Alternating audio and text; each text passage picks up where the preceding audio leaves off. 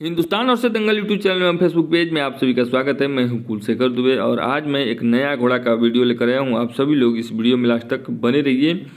आज मैं बात करूँगा इस घोड़े के डिटेल्स, क्योंकि ये घोड़ा है, काफ़ी ज़्यादा फ़ैशन देकर अपना पैरबाजी करता है, चौताला का घोड़ा है और ये घोड़ा आने वाली रेसों की तैयारी कर रहा है।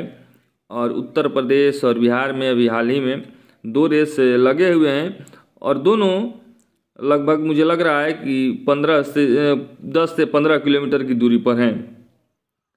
अभी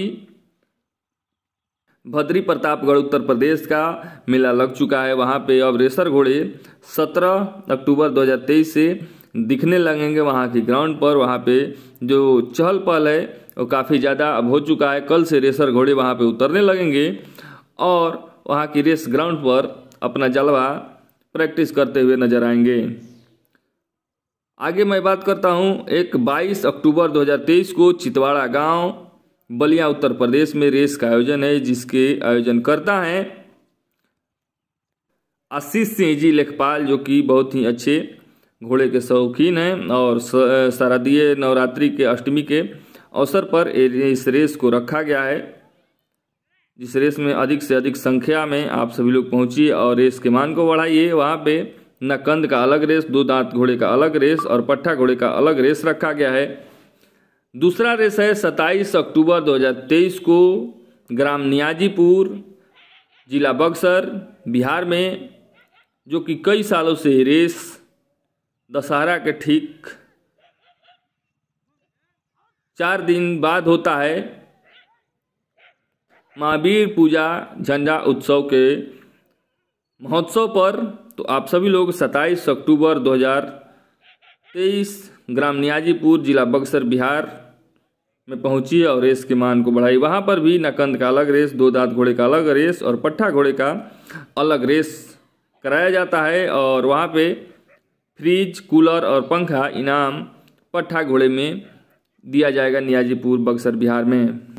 और इस घोड़े की मैं बात करूँ तो सब्जा कलर का घोड़ा आप सभी लोग देख रहे हैं। अच्छा कलर माना गया है। सब्जा तेरा रंग है और रंग बदरंग। काफ़ी शानदार घोड़ा और कुछ लोग इसे रोजा कलर भी लोग बोलते हैं। आल दूम काला होता है और घुटने पर काला होता है। बाकी ऊपर से देखने पर सफ़ेद ही घोड़े दिखते हैं। इस घोड़े के मालिक हैं अरुण वर्मा जी। इनका पता है कणसर बच्छा पार बलिया उत्तर प्रदेश का घोड़ा है और शानदार पैरबाजी में करते हुए घोड़ा राउंड को पूरा कर रहा है।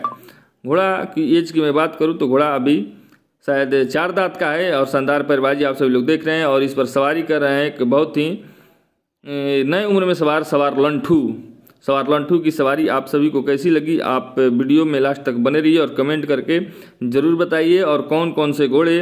22 अक्टूबर चितवाड़ा गाँव और 27 अक्टूबर नियाजीपुर बक्सर बिहार में दोनों रेस में कौन कौन से घोड़े भाग ले रहे हैं, आपके कमेंट का इंतज़ार रहेगा और कमेंट करके ज़रूर बताइए कि अरुण वर्मा जी का यह सब्जा कलर का जो घोड़ा है, इस घोड़े की पैरबाजी कैसी है और सवार लंठू की सवारी कैसी है। और जो लोग हमसे नहीं जुड़े हैं, हमारे चैनल के यूट्यूब चैनल को सब्सक्राइब कीजिए फेसबुक पेज को फॉलो कीजिए, लाइक कीजिए, हमसे जुड़े रहिए। और मैं कोशिश करूँगा कि भद्री, प्रतापगढ़, उत्तर प्रदेश में जो मेला लगा है, उसका वीडियो आप सभी को दिखाऊँ। मेरे साथ लास्ट तक बने रहिए।